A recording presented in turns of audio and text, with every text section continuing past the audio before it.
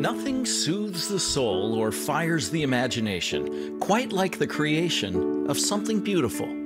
We're just really empowering them to do their own thing and be creative and have their own voice. Seattle's Vibrant Palette Arts Center brings the gift of art to people of all abilities. I mean, all of our artists are very unique in their styles and and their art is, is wonderful in its own way. Um, and I, am constantly blown away when we're at the studio of what they're making and creating. People become way more confident in their abilities and, um, and just their ability to be social too. But when the pandemic put in person sessions on hold, Executive Director Diane Knoll and her instructors took the studio online.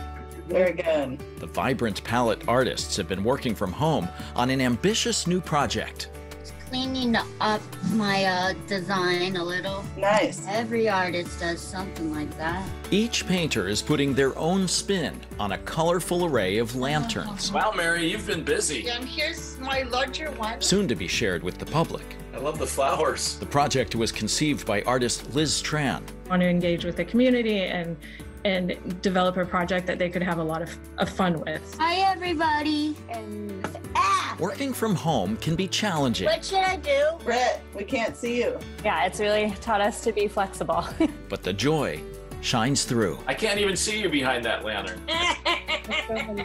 made some beautiful creative pieces. And it's going to be really bright and colorful, and everyone's adding their own way of painting them. Putting dots and stuff all over we're all supporting each other and having fun together. Finally, we've been looking forward to this day for a long time. The completed works are put on display in the Central District's Pratt Park. To be appreciated by the whole community.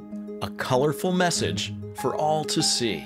It exceeded my expectations. Art belongs to everyone. It's just really worked out perfectly, I think. Art is relevant no matter who makes it, and it needs to be seen.